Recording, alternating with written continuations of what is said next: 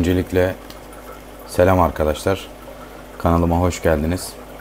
Ee, videoma başlamadan önce ki akvaryum hobi kanalından bahsetmek istiyorum.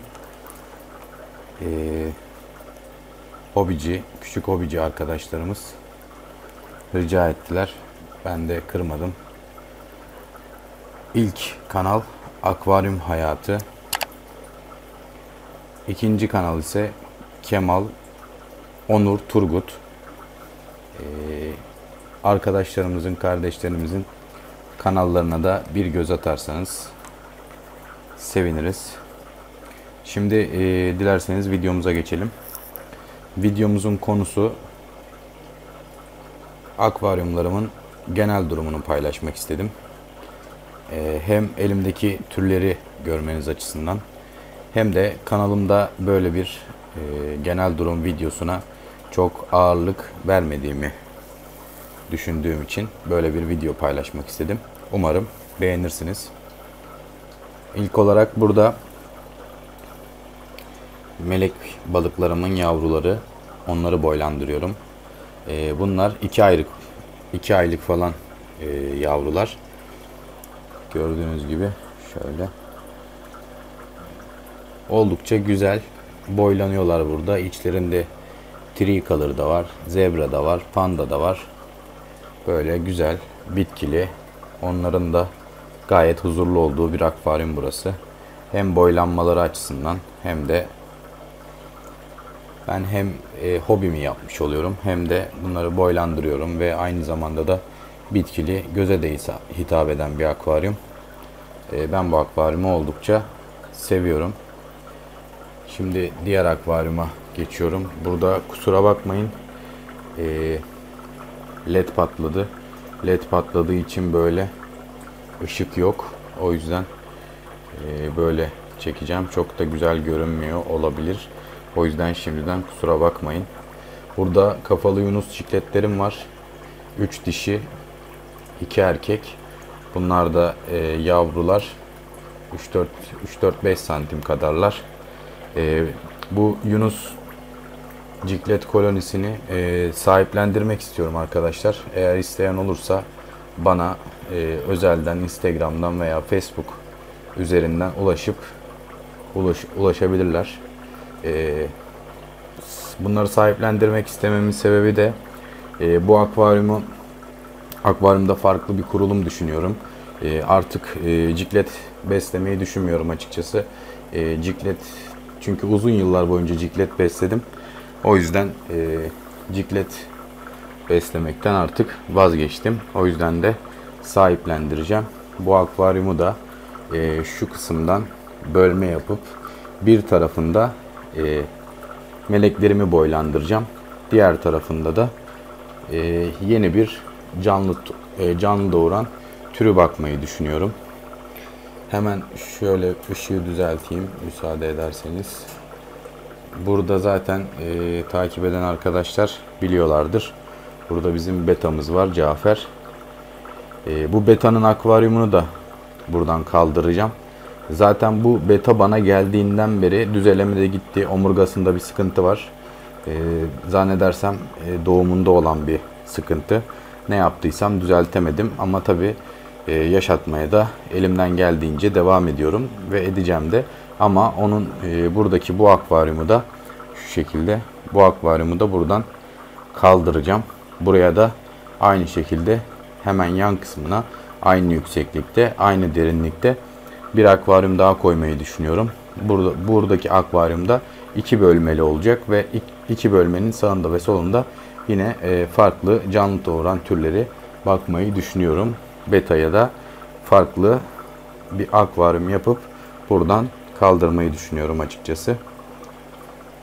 Dördüncü akvaryumumuza geçelim. Burası benim e, damızlık meleklerimin olduğu bir akvaryum.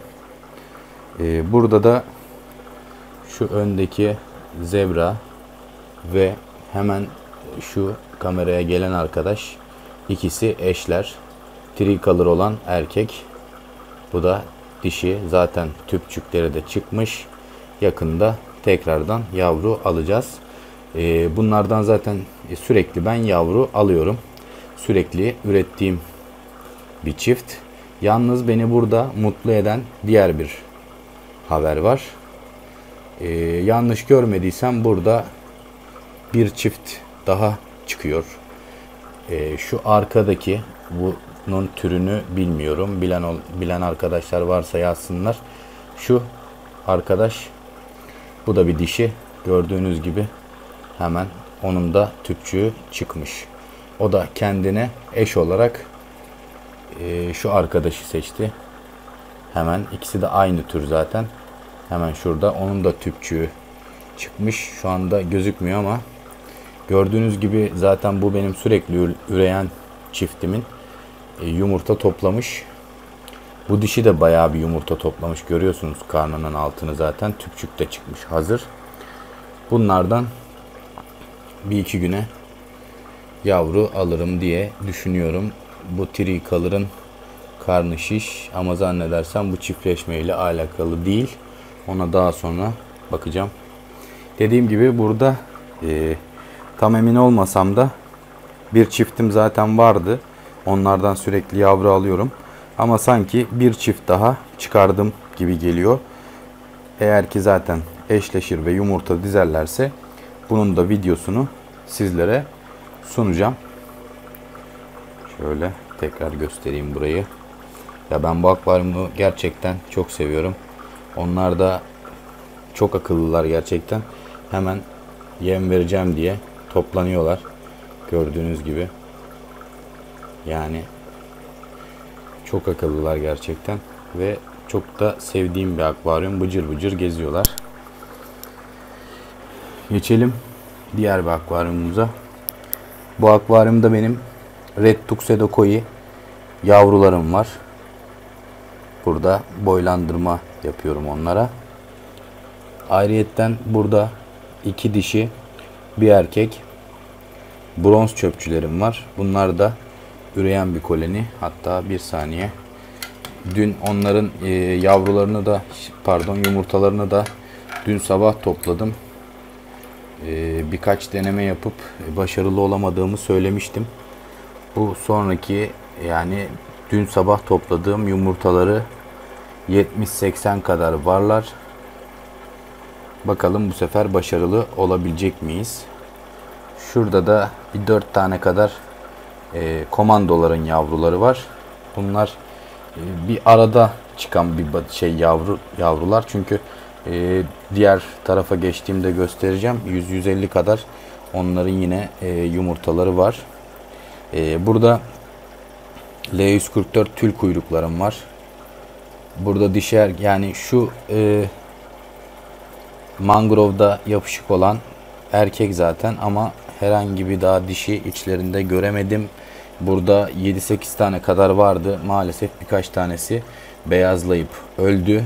Bu vatoz be beyazlama konusunda da e, en yakın zamanda ciddi bir araştırma yapmayı düşünüyorum. Çünkü nereye bakarsam bakayım beyazlama konusunun neden beyazladığını ve e, neden beyazlayarak öldüğünün bir türlü e, tam net çözümü veya neden olduğunun çözümünü e, bilen yok açıkçası. O yüzden onu bir araştırma yapacağım.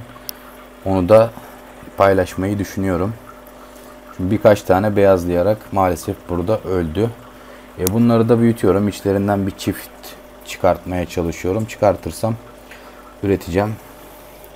E, burada benim Red Tuxedo Koi e, balıklarım var. Maalesef buradaki bir tane dişimizi kaybettik. Ama ne yazık ki ben e, bunlardan kendime bir 10 kadar 10 dişi 4 erkek gibi çıkan e, birkaç batımdan karma yaparak kendime damızlık oluşturmuştum.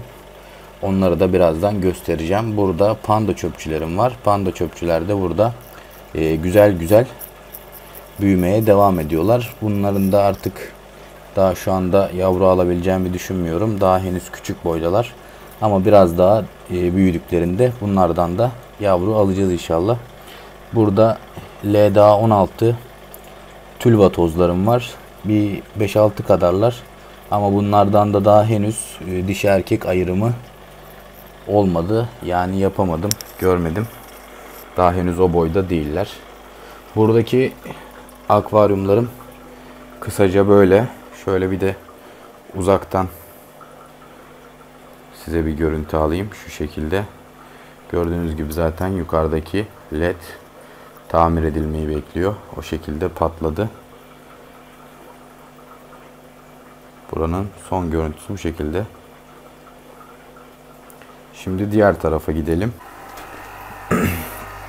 Burada da sıra sıra göstereyim.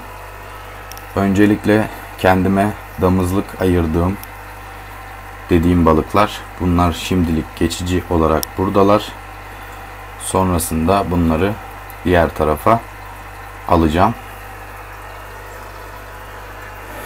Burada komandoların boylanmakta olan yavruları var. Gördüğünüz gibi artık kendilerini kurtardılar. Hassaslıktan çıktılar. Yavru evrelerinde biraz hassas oluyorlar.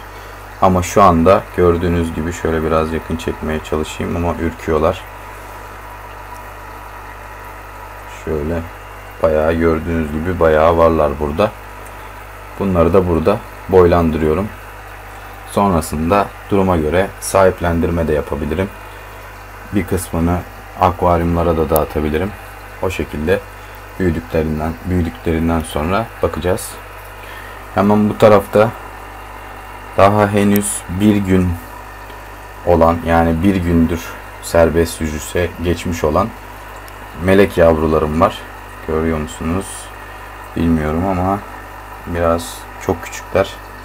Şöyle hemen sadece karınları görünüyor. Artemiyaları görünüyor ama kendileri biraz zor görünüyorlar. Hemen bu kısımda bir, bir buçuk haftalık zannedersem yavrularım var. Ben böyle 15-20 gün kadar şöyle ufak akvaryumlarda tutup sonrasında boylandırmaya alıyorum. Ee, az önce bahsettiğim komando çöpçülerin asıl yavruları onlar da yani asıl derken çok olan batım yavruları burada. Burada 150 kadar bir yumurta var. Gördüğünüz gibi yumurtalar siyahlaşmaya başlamış. Ee, bir veya iki gün içerisinde zaten yumurtalardan yavrular çıkmaya başlayacaklar. 4-5 gün sürüyor zaten çıkmaları. Ee, burada Red Tuxedo koilerin damızlık altı yavruları var. Ee, düzler ve ribbonlar.